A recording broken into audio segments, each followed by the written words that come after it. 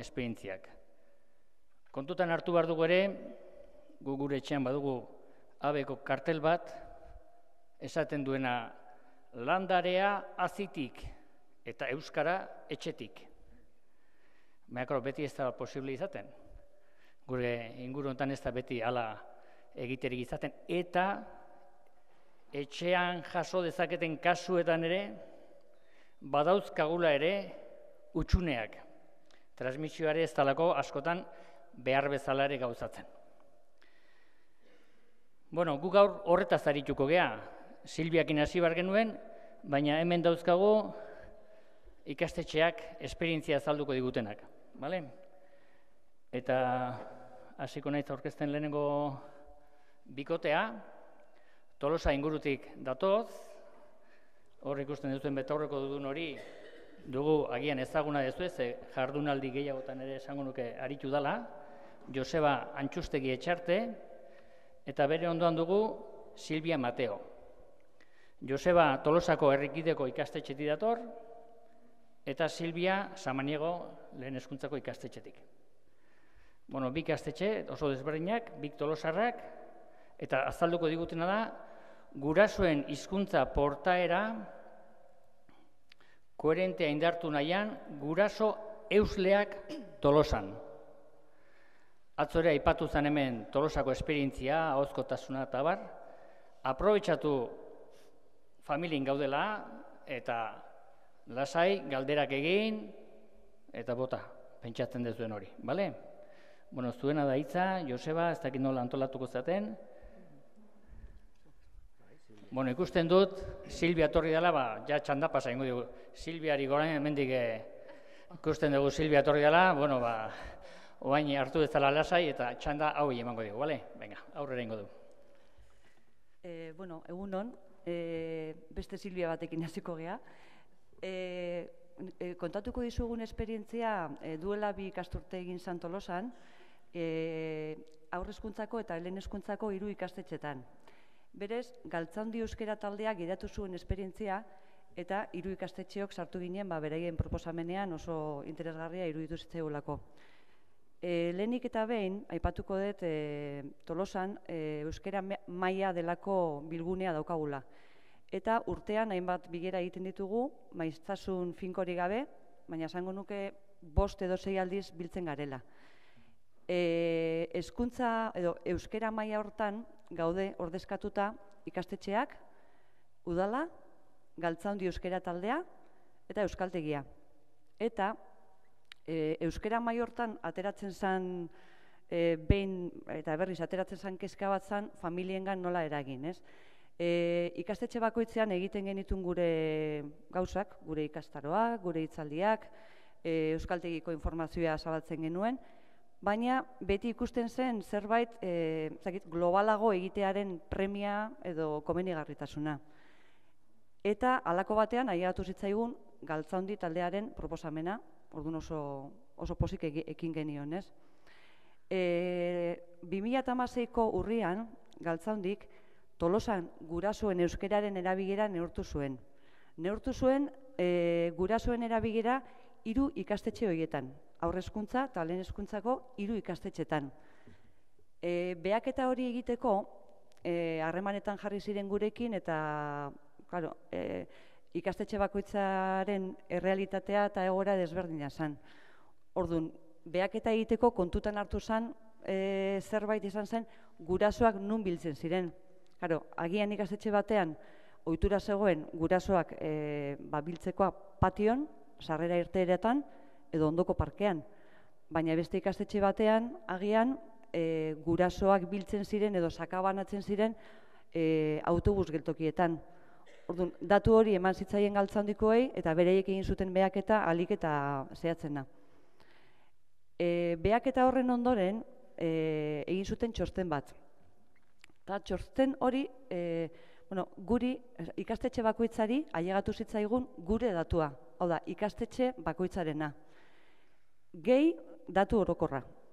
Datu orokorra zan, e, iru ikastetxeetako gurasoen e, bataz bestekoa.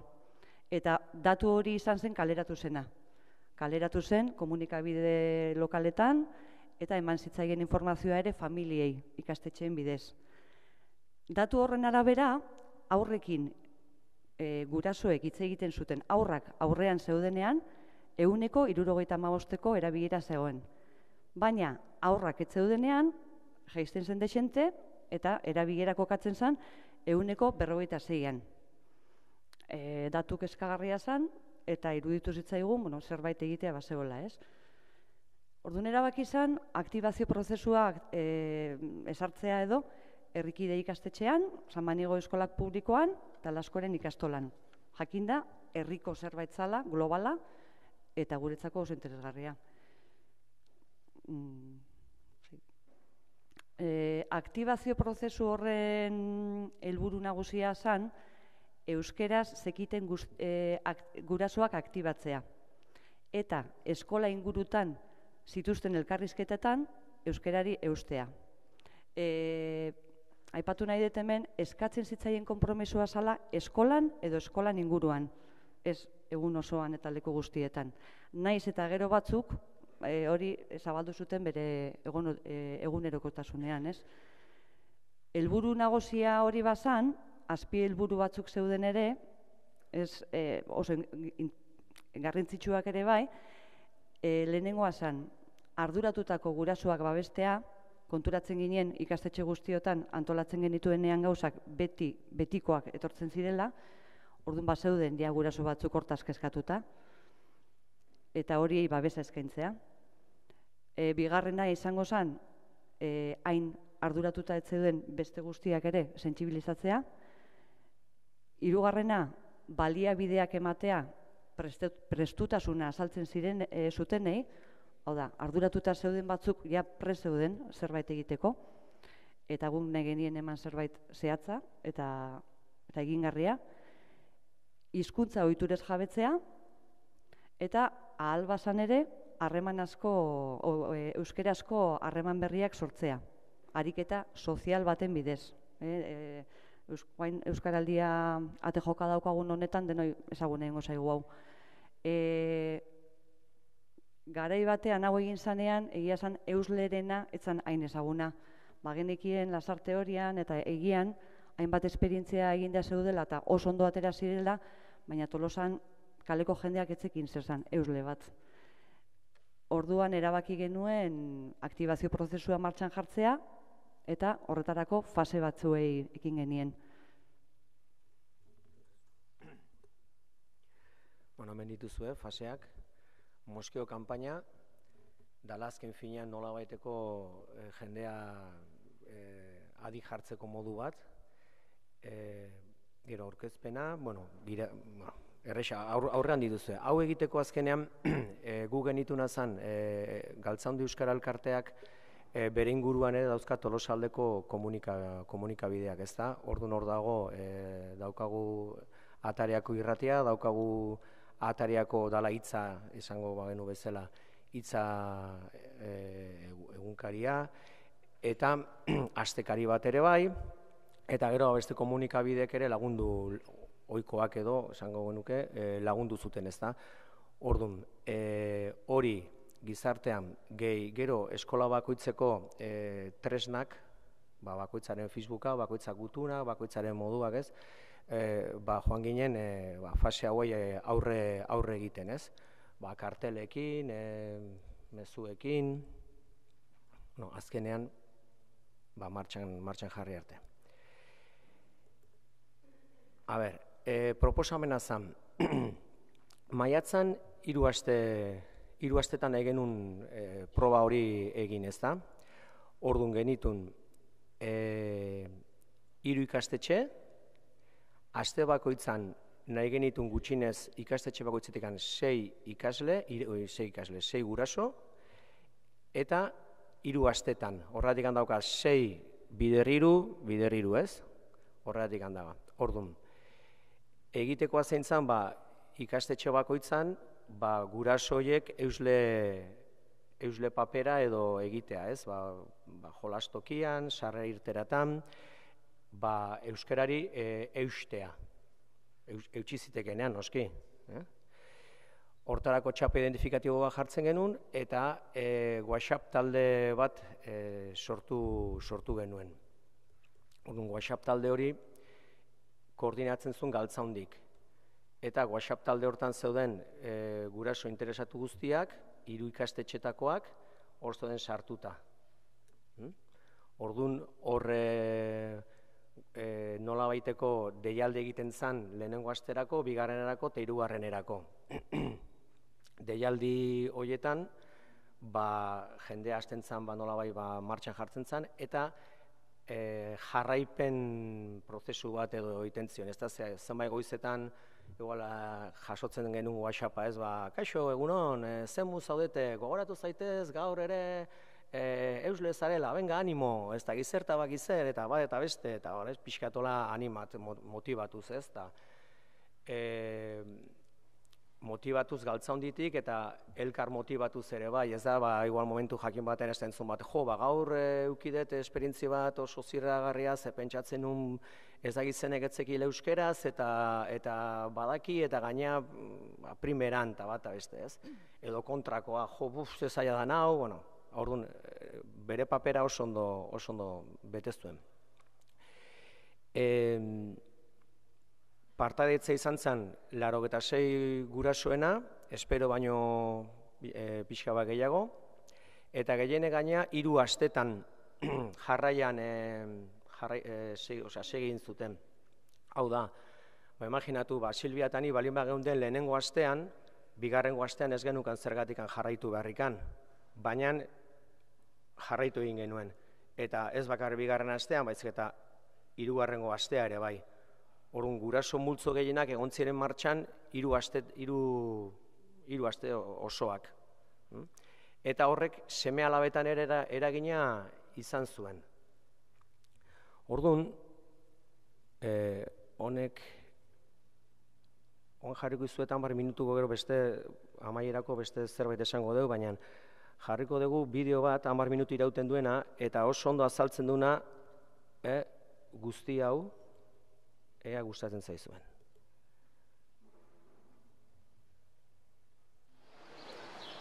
Guraso lehen ekimen hau 2016ko udazkenen galtzaundi euskera taldek egindako ikerketa batetik enabitu zen. Bertan, Tolosako gurasoen hizkuntza erabilera neurte genuen eta tatu kezkagarri bat ikusi genuen. Eta bertan ikusten da, gurasoek aurrekin erabiltzen duten euskera baino, hogeita behatzi puntu gutxiago erabiltzen dutela gurasoek euren arteko elkarrizketetan.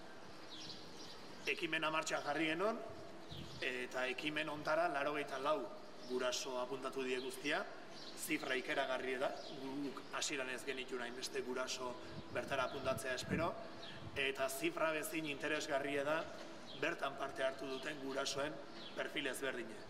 E, ba zeuden guraso euskaltzaleak, ba zeuden euskeraz hainbeste hitz egitea ba, kostatzen zaien gurasoak, eta orduan, espektro guztitako gurasoak topatu ditu, eta hori guretzako oso oso motibagarri izan da. Apuntatu nintzen, e, ustez pentsatzen e, erretxe izango zela, ze azken finen, bai guraso bezala eta bai e, irakasle bezala, ba, oso identifikatuta nago e, euskararekin eta jendeke alaxe identifikatzen nago. Bai ikusten betelako ba, joera hundia daukeula, erderara pasatzea, eta, bueno, nik e, beti da euskalduna naiz, beti bueno, ikasi, erderaz ikasi nun, baina bueno, oso motibatuta nago euskararen gaiarekin, e, lantokin de gauza asko egiten ditugu euskararen alde, eta oso esperientzi politia egiten zeiten, da, aberaz Bai, nik etxean beti dena euskeraz, bai guraso, familia guztia euskaldun da, e, etxean gure etxene bai, bikotea bai, egun dena euskera ninguru Eta eskolako beste gurasoen arteko harremanak? Gehien txunak euskeraz, tarten tarten bada bate bat, erdaldunago dana, baina gehien gehienak eguneko laro gaita marretik gora euskaldun dago E, eh, lehen nabiziko hau zan, harrituta gelditu naiz, e, zenbat jendeen ere ingurun, bale, parte hartze aktiboa izan duen. E, Samaniegora eskolara etorri eta derrepente hori guraso batzuk hori denak txaparekin goizan goizetik. Eta hori ba, visualki izan dara pozgarria. pozgarria jendea prest dauela eta jende multo desente hortze daudela prest. Bueno, ba, esperientzi interesgarria irutze zait. E, nei guztu lagundu dit pixka txipa jartzen, ze lagundu dit konturatzen e, askotan, ba, ze joara daukegun erdera pasatzeko, naiz da gure inguruko igual euskeraz jakin ez. Nire inguruko eta normalen e, euskera zitzaiten dugu. Baina, bueno, anekdota modun edo, bai, e, jakinda batzuk txapa zutela, bai bereienan gertu datu naiz eta agurra ba, gazteleraz hasi naiz. Eta beste karrituta eta ze gertatu eta ja, derrepente txapa agartu eta denon artean ma pixka parra egin eta politxe izan da bai. Gehienetan harrera ona izan da. Eta jendia, bueno, inolako problemi gabe, e, galdetzen, bueno, e, esplikatzei jozuenen ze, zene, bueno, zerta joan kontu hau eta, ba, bueno, e, jendea ulertzen duna euskeraz eta problemi gabe badakit baten batei, ba, ba, igual erantzun pixka zakarragoa izan dula, baina bueno, ez da nire kasu izan. Baina bai egiten dela pixka e, zaila, e, ba, aldatzea, ohitura eta eta nik uste komeni dela olako ekintzak itea hortara. Erresa, kosta egiten da, pixkat esportzu egin barrezu, kliko egin barrezu, zuk euskeraz mantentzen, ze askotan konturatu gabe gaztelania pasatzen gara. Horun bono, ba, kliko egin, eta saiatu euskaraz hitz egiten, eta, eta listo, eta Erronka pentsatzen nuen erresago izango zela, baina e, gero topatu nahi zenbait egoeratan, non nik nire buruakin ere kale egiten deten, eta, eta gero ere, ba, bueno, ba, beti ere zenbait egoera berrien aurrean, jende berrien aurrean, ba, e, estrategia zein izan daiteken aldan hobetona e, sartzeko eta hizkuntzarekin e, nola bai tal, talka hundirik egin gabe ba, euskararen presentzia bermatzeko edo erabilera bermatzeko bentzen dira aldetik ezta. Kasu batzutan erresa izan zait, ze inguruko jende asko ba, hori osea, euskeraz hitz egiten du eta earki gainez, eta zenbait kasutan ez zaiago intzait, ba, inguruan e, badauzkadalako ere pertsona batzuk ez dutena euskara beste menperatzen. Normalen inguru euskalduna malima asko etzaizu kostatzen. E, agian niri etzai tokatu, baina bai jakin dut beste pertsona batzuk, bueno, agian zailtasun batzuk eduki dituztela. Eta, bueno, balkartasuna, bai txapa eramaten dutenak, eta bai beste horiek ere saiatu direla, ba, euskaraz pixka gehiago hitz egiten. Nere kasu oso horreza izan da. Inguru gehiena euskalduna izan da, bai etxen, bai ikastolan, oso, oso horreza, erronka zaila bintzatuz. Zaila, eta naizta badakizu, bueno, ba, erronka hau dauket eta egin bardet, da askotan konturatzeanako zaude berrize erderaz, ez? Eta, bueno, baino honek laguntzen dit, e, pues, ba, besaiatzeko aldeten gehiena euskara ziteko eta beste ide alde, e, eraberen motibatzeko edo animatzeko. Gertatu izan zaitalako e, e, zea, konversaziotan, ez, non e, olako joera izaten dugu, esaten dugu bezala euskainolez aitzeko, ez, eta hor, ba, pixka burua jarrita e, pues, euskararen alde ite horretan, ba, kontuatu naiz azkenen, ba, kasu batzutan beste pertsona ere kutsatzen zala horrekin, eta berriro bultatzen zala euskarara, ez? Da, igual, e, burua ez banun hor eusle e, ze honetan eukiko ez, ba, agian ni ere eroriko nintzak erresago ba, dinamika horietan, ez oitura horietan. Nire ingurua nik ikusiet e, aldekoa edo. Eta tokatu zaizkitenean egoera berrik ba, zenbait dendariekin edo, ba, besteek ere berae, bere mailan, bere mailan saiatu izan dira nerekin e, harreman euskeraz e, egiten. Baina baita ere hor sorpresak hartu ditut, ba, jendeari ekimen hau pixkate esplikatuta ondoren, ba, ikusitut zenba jarrera, ez dituna espero eta ba, argiduraz eta eta posaz hartu ditut, ez? Ikusita ba, jendearen e, prestutatzuna eta, eta gogoa ere baita aportatzeko, ez? Euskararen alde eta... bueno, indeten gauza da pixkat azaldu e, jendiai, ba, harreman eguneroko harremana dakaten jendiakin eta erdera ziten dutena, bai igual ba, azaldu indiet zeintzan e, gure ba, ekintza hau, eta orduan ba, horrekin nahiko izan dut. Baten batekin, ba, beak erderaz erantzun batzu, nik euskaraz hitzein eta ondo moldatu da inungo ez da situazio violento edo olako zareke... Egia esan hola oso gertuko pertsona bat dauket, e, ba beti erderaz eta gainez be, bea, berari beti entzun da etzekila euskeraz, ez? Eta pixka eta saldu dio danen zertan nahi ginen, eta aste honetan nola ibili gehan eta ba, harrituta gehiatu naiz, ba nola hasi dan behare euskeraz egiten eta jo, ni uste, man, uste nuen baino asko zeo beto, ez? Eta, eta behare ikustea, ez? Animatu dela, ba, sekulako e, aportazio politia egitu zait.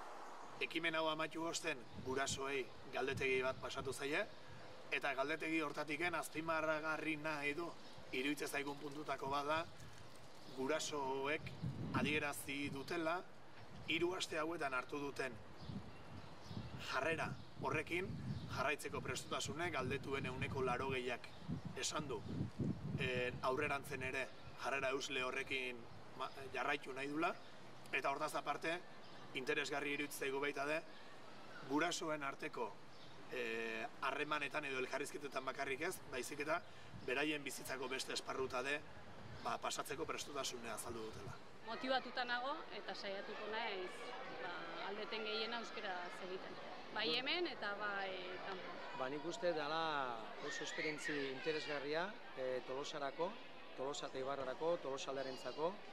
E, gai badalako azkenean e, herria eta eskualdea elkartzen dituna, eta ni irutzen zait e, hori oso garrantzitsua herrirako, Tolosarako eta eskualderako.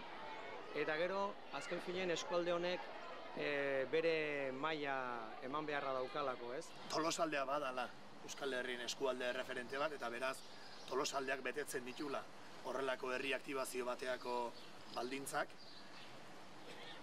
Bestetik aipatu nahiko genuke eta eskerrak eman Tolosako hiru ikastetxeek, hau da Laskorainek, Samaniegok eta Herrikidek azaldu duten prestutasuna, ekintza martxan jartzeko garaien eta galtzaundi euskara taldeari nola laundu dioten ekimen honetan. Baita ere eskerrak eman ekimen honetan parte hartu duten guraso eusle guztiei eta azkenik esan galtzaunditik horrelako erantzun batzuk jaso osten galtzaunditiken berriz ere horrelako ekimenak martxan jartzeko eta horrelako ekimenak aurre ateatzeko prestutasun osoa daukagula. Hoixe, hoixe zan, eta ja denak esan da, esan da daude, baina bueno, azkenean bukatu genuen e, denon artean lida bat e, egiten, gero udazkenean errepikatu egintzen berriro esperientzia, eta orain e, Euskaraldian sartuta gaude denak. Eskerrik asko eta urren arte. Oso ondo. Bueno, nik alderatxo bat bio izutzen dugu nitzueke. E, normalean, gurasoek